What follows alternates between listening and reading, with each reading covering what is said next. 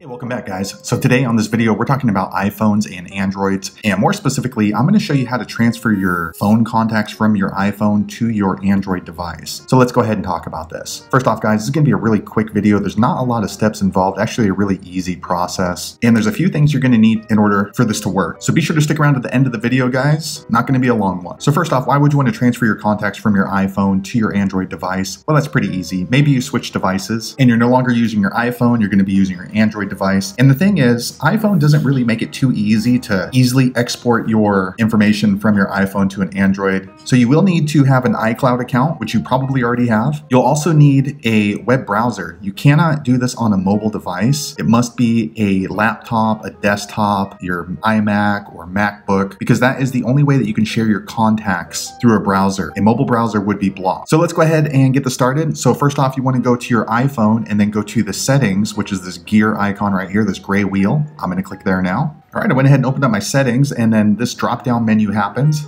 Let me move this Android device out of the way. So here on the iPhone settings, you want to click on your username or your name at, here at the top. It's also going to have your profile icon or picture. It doesn't really matter. I'm going to click there now. Right next, your Apple ID menu is going to pop up. And what you want to do is go ahead and click on iCloud right here. It's the one with the blue and white icon. I'm going to click there now. All right, so now we are looking at the drop down menu for your iCloud. So this is a pretty important step. You want to make sure that your contacts are shared in your iCloud. And you just make sure this toggle is green like mine is. If it's not, be sure to just just toggle it over and then it just gives you the option to go ahead and save it into your iCloud. So once that's done, it's going to be green and then we're ready to go. So I'm going to switch over to my web browser now. Okay guys, I went ahead and switched over to my MacBook now. Once again, it does need to be a desktop browser. And what you're going to want to do is go to iCloud.com. Be sure to check my video description. I'll try to leave a quick link there, but I'm going to go there now. All right guys, I went ahead and switched over to my iCloud right here as you can see, and you're going to see all the different apps. Once again, if you went to iCloud.com on your mobile browser, you're only going to see a few apps inside your iCloud. It will not include your contacts. That's why.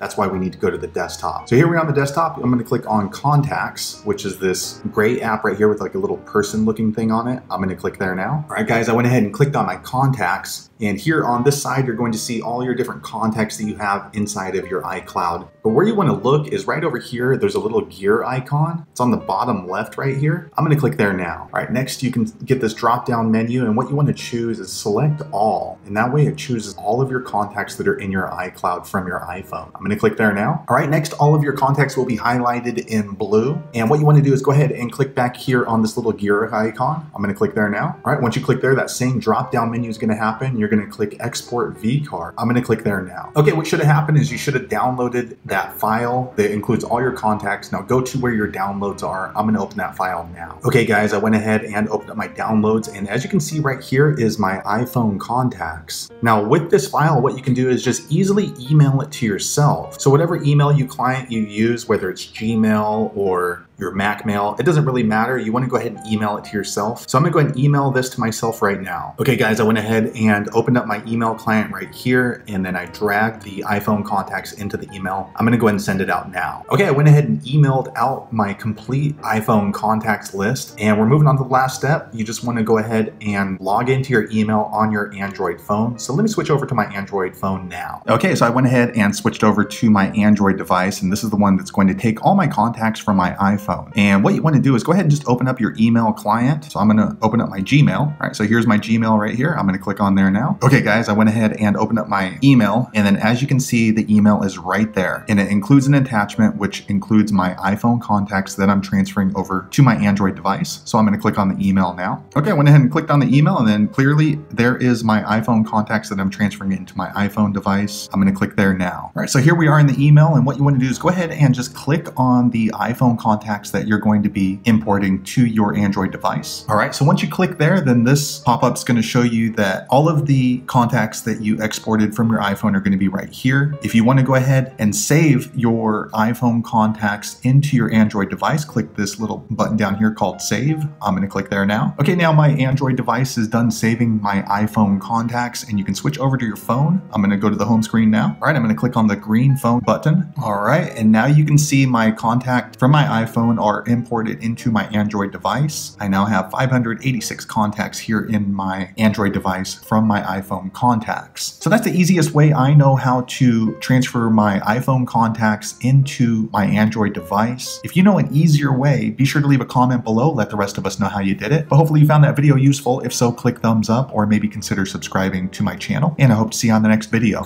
Thanks again for watching.